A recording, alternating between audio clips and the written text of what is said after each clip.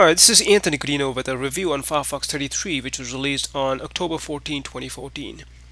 As part of Mozilla's rapid release updates that occur once every six weeks, Firefox 33 is the latest stable release. So let's explore what's new in Firefox 33. Bug fixes and fixes to security vulnerabilities have become commonplace with these Firefox updates, and Firefox 33 includes over 3,400 um, bug fixes. Um, there are some new features that uh, have been implemented in Firefox 33 and one of them is Open H264 support in WebRTC or Web Real-Time Communication. I'm not going to get too technical about this, but you can read the details in Andreas' blog post and I'll leave a link in the description section of this YouTube video. But essentially it's a software library for real-time encoding and decoding uh, video streams in this particular format. So H264 is the most widely used codec or compressor, but it can be subject to royalties. So Cisco has agreed to distribute um, a free H264 codec plugin and uh, you'll probably not notice this but uh, once you download Firefox 33 you'll see this uh, H2 uh, Open H264 video codec plugin installed.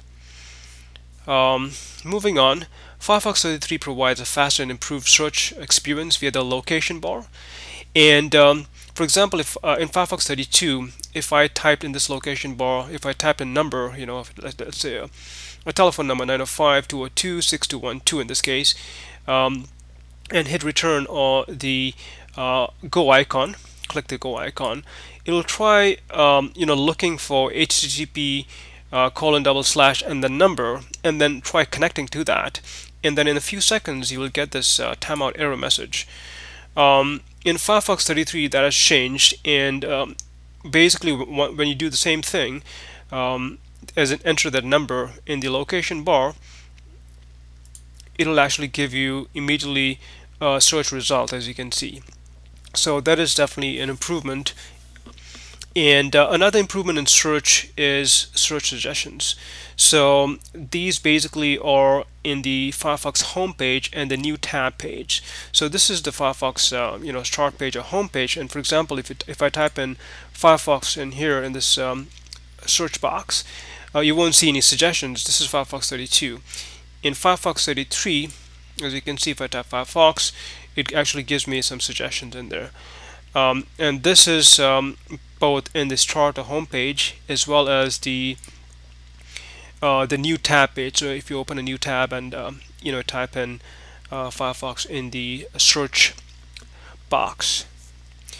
Uh, other new features um, uh, include the off main thread compositing, um, or it's called OMTC.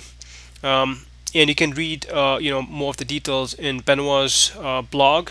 Again I'll leave a description or the link in the description section of this YouTube video. But essentially uh, what OMTC does is uh, it provides a smoother browsing experience while consuming less resources. And this is basic, basically accomplished by adding a second thread um, in order to make the main thread loop more efficient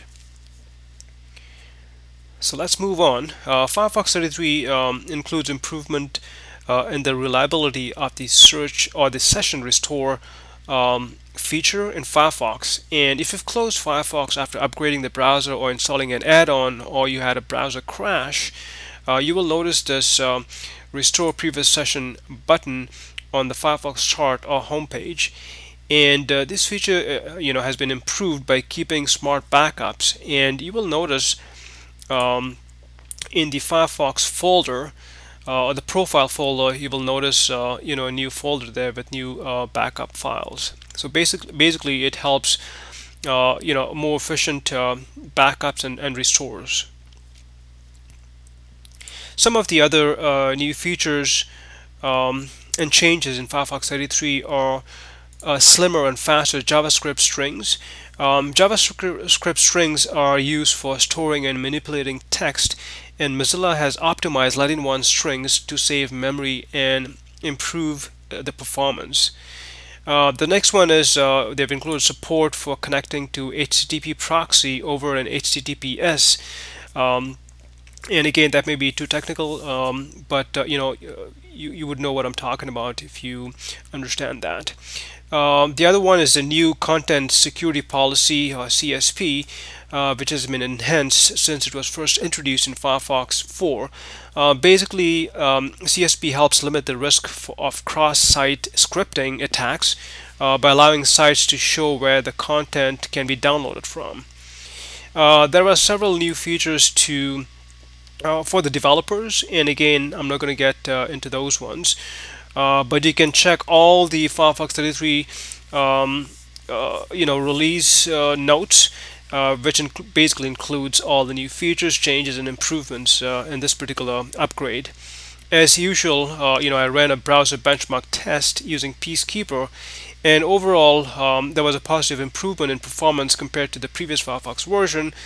But when compared to Google Chrome, as you can see, Google Chrome continues to outperform overall.